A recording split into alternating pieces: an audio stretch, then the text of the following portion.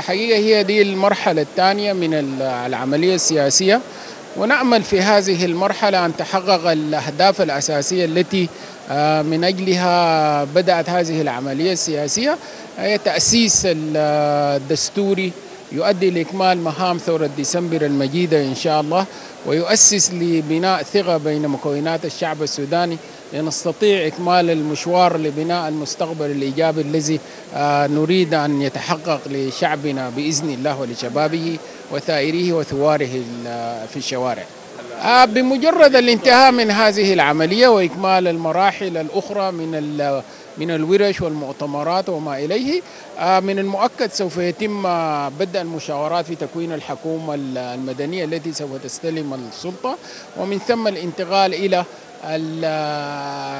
تنفيذ مهام وقضايا الفترة الانتقالية اللي حتبدأ بمجرد أن ننتهي ونوقع الاتفاق النهائي. نعمل هذه الفترة تكون إيجابية ونشارك جميع أبناء الشعب السوداني فيها.